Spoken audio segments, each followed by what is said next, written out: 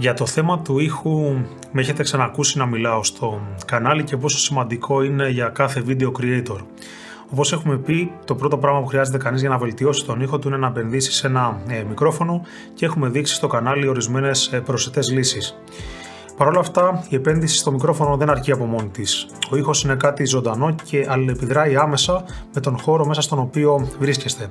Έτσι, μπορεί να έχετε αγοράσει εσείς κάποιο ε, μικρόφωνο, να έχετε κάνει μια επένδυση μικρή, μεγάλη, δεν έχει σημασία. Και ενώ ο ήχος από το μικρόφωνο να είναι καλός, το τελικό αποτέλεσμα να είναι άσχημο, γιατί ο χώρος μπορεί να έχει προβλήματα, να έχει στάσιμα κύματα, να έχει αντιχήσει, να έχει ηχό. Τι κάνουμε λοιπόν για να αντιμετωπίσουμε αυτά τα θέματα; Να πω εδώ σε αυτό το σημείο ότι αντίστοιχο πρόβλημα είχαμε και εμείς με τον ήχο όταν ήρθαμε στο νέο ε, στούντιο και αν ανατρέξετε πίσω στα πρώτα βίντεο που είχαμε κάνει ε, μετά την μετακόμιση θα διαπιστώσετε ότι το πρόβλημα και σε εμάς ήταν πάρα πολύ έντονο. Καλώς ήρθατε στο κανάλι του Gearhits. Βλέπετε εδώ νέα πράγματα από πίσω μου. Έχουμε αλλάξει ε, περιβάλλον. Το πρώτο λοιπόν που κάναμε εμείς για να μπορέσουμε να διορθώσουμε ε, το πρόβλημα καθότι εδώ ο χώρος ήταν άδειος, ήταν να μαλακώσουμε όλες τις σκληρές επιφάνειες που υπήρχαν και πώς το κάναμε εμείς αυτό. Το κάναμε χρησιμοποιώντας ε, βαριές ε, κουρτίνες, όπου νομίζω ότι είναι πιο εύκολη και πιο άμεση λύση για να διορθώσει κανείς αυτό το πρόβλημα. Φυσικά από εκεί πέρα υπάρχουν και άλλες λύσεις, μπορεί να βάλετε έπιπλα ανάλογα πώς θα, πώς θα διαμορφώσετε το χώρο, αλλά σίγουρα μια κουρτίνα είναι πολύ πιο εύκολη σαν υλοποίηση. Από τότε το πρόβλημα διορθώθηκε σε μεγάλο βαθμό και νομίζω ότι ακούτε πώς έχει βελτιωθεί ο ήχος μας ε, από τότε. Όμως εξακολουθούν και υπάρχουν κάποια προβληματάκια στο χώρο με βάση και κάποιες μετρήσεις ε, που έχουμε κάνει. Βλέπουμε ότι υπάρχει ακόμα ε, λίγη αντίχηση, ενώ έχουμε και κάποια θεματάκια με το μπάσο, τα οποία θα πρέπει να τα αντιμετωπίσουμε βάζοντας με την πρώτη ευκαιρία κάποιες μπασοπαγίδες. Για το θέμα της αντίχηση, λοιπόν, εδώ υπάρχει στα δεξιά μου ακόμα μια επιφάνεια την οποία έπρεπε να αντιμετωπίσουμε, να την καλύψουμε με κάποιο τρόπο και στην προκειμένη περίπτωση διαλέξαμε να πάμε με την λύση των ηχοαπορροφητικών πάνελ. Και ειδού το προϊόν το οποίο εμείς ε, διαλέξαμε. Δεν ξέρω αν αναγνωρίζετε εδώ τα, τα σηματάκια της ε, συσκευασίας. Εδώ το σηματάκι είναι της Elgato και το προϊόν λοιπόν είναι τα Wave Panels. Και τι είναι λοιπόν τα Wave Panels. Πρόκειται για ειδικά σχεδιασμένα ηχοαπορροφητικά ε, πάνελ σε εξαγωνικό σχήμα όπως φαίνεται εδώ και από το ε, κουτί τα οποία τα εγκαθιστάτε σε μια επιφάνεια την οποία θέλετε να βελτιώσετε την συμπεριφορά της σε ό,τι αφορά τις ανακλάσεις του ήχου και από εκεί και πέρα επεκτείνετε, βάζετε αντίστοιχα κομμάτια ε, ανάλογα με τις ανάγκες σας. Εδώ λοιπόν αυτό είναι το starter kit, έχει μέσα 6 ηχοαγοροφητικά ε, πάνελ και πάμε λοιπόν να δούμε τι έχει μέσα καθώς το ανοίγω. Λοιπόν,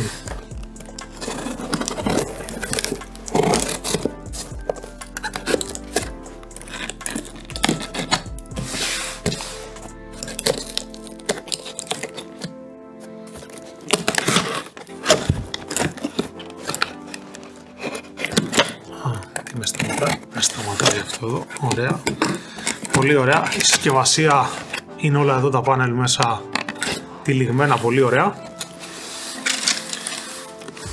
Λοιπόν, εδώ έχουμε ένα σακουλάκι, θα το ανοίξω στην συνέχεια. Δεύτερο σακουλάκι.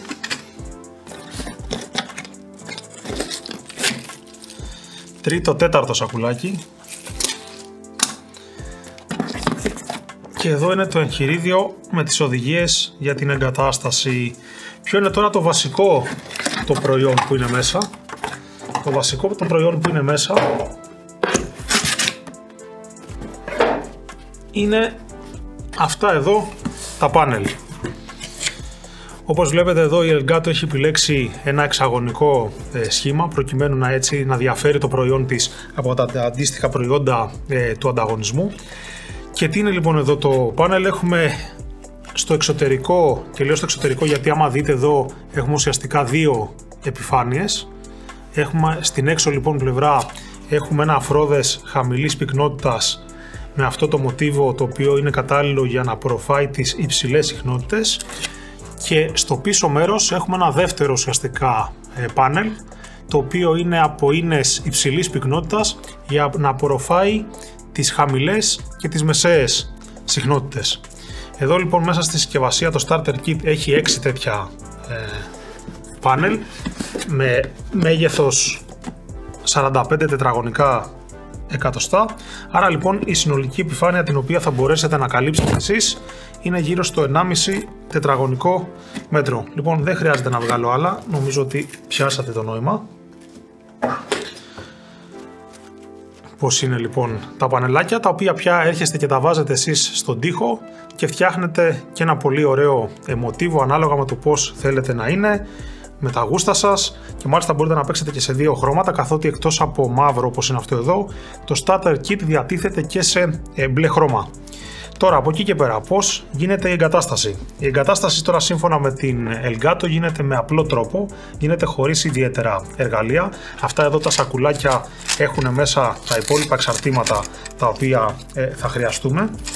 Πρακτικά εδώ λοιπόν έχει κάποια πλαστικά εξαρτήματα στα οποία έρχεται κανείς και συναρμολογεί το σκε, τους σκελετούς για αυτά τα ε, πάνελ τα οποία βλέπετε κουμπώνουν επί της ουσίας χωρίς την ανάγκη ε, εργαλείων.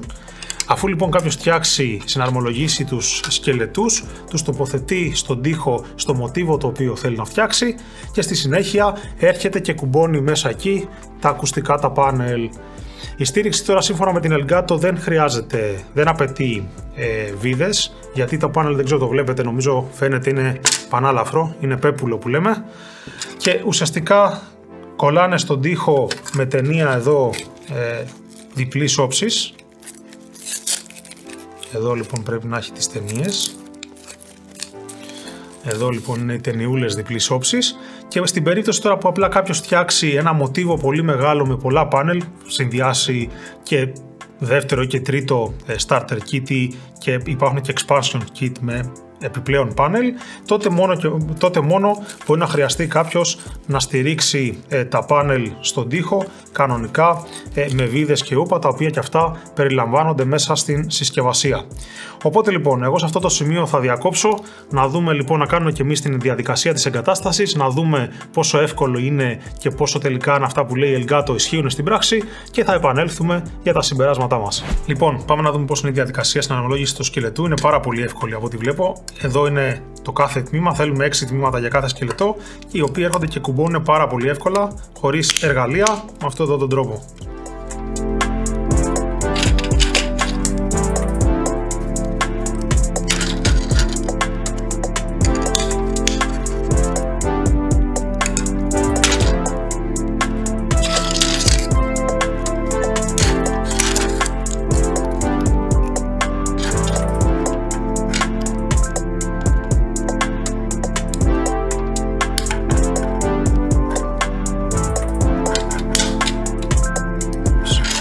Εδώ λοιπόν βλέπουμε και ένα πρόβλημα, αυτός εδώ σκελετός έσπασε.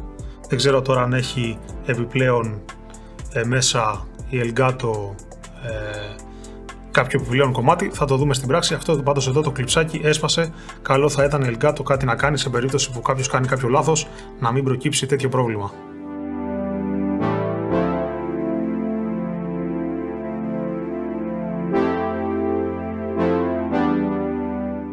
Λοιπόν, Παρά το ατύχημα, το ένας σκελετός είναι έτοιμος και τώρα τι κάνουμε σε περίπτωση που θέλουμε να ενώσουμε όπως είπαμε δύο σκελετούς; Υπάρχει αυτό εδώ το, το συνδετικό εδώ το, το κλειψάκι το οποίο έρχεται και μπαίνει σε αυτές εδώ τις θέσεις στο πλάι. Έχει, βλέπετε λοιπόν 1, 2, 3, 4, 5, 6 θέσεις. Έρχεται λοιπόν κουμπώνει το κλειψάκι εδώ μέσα και αντίστοιχα λοιπόν παίρνεις ένα άλλο πάνελ.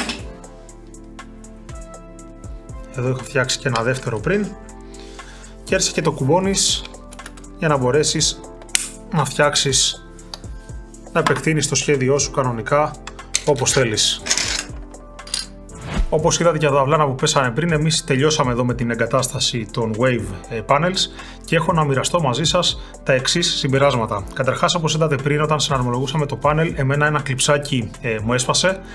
Αυτό δείχνει ότι η κατασκευή είναι λίγο εύθραυστη. Δεν ξέρω τι θα κάνει η Elgato για να το βελτιώσει αυτό στην πορεία. Πάντως, εγώ έχω μια συμβουλή να σας δώσω. Μην κάνετε το λάθος που έκανα εγώ, δηλαδή να προσπαθήσετε να συναρμολογήσετε τους σκελετούς στον αέρα. Καλό είναι να το κάνετε κόντρα σε μια επιφάνεια κανονικά γραφείου, όπου εκεί θα έχετε λιγότερες πιθανότητες να σπάσει το κλειψάκι.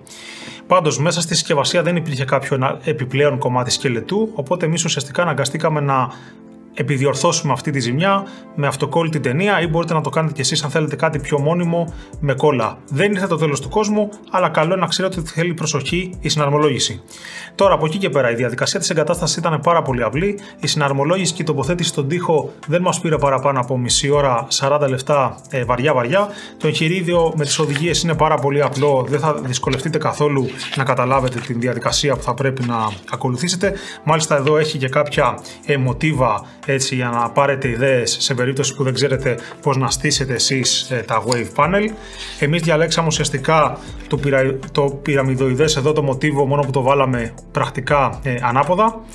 Ε, ωραίο δείχνει στον τοίχο. Εγώ θα ήθελα να είχε και κάποιο έτσι χρωματάκι, να είχαμε ίσως και μπλε panels. Δεν ξέρω αν μας ακούει κανείς εκεί στην Elgato να μας στείλει ε, τίποτα μπλε panels να βάλουμε και λίγο ε, χρώμα.